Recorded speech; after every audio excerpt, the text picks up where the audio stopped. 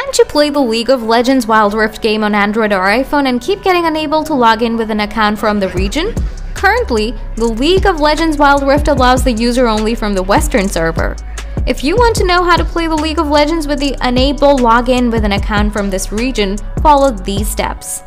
Solution 1. Remove your stored internet IP data from the League of Legends app. Now tap and hold the League of Legends gaming apps, tap App Info, enable the Auto Start option, tap Clear Data, tap Clear All Data, tap OK. Solution 2. Change your internet IP address. Open your Google Play Store, tap Search, type Touch VPN, set up the VPN, choose a server from US or UK once you're connected. Now open your The League of Legends app. Please try to use your previous account. It would be best to try to create an account or connect with your new Gmail or Facebook account.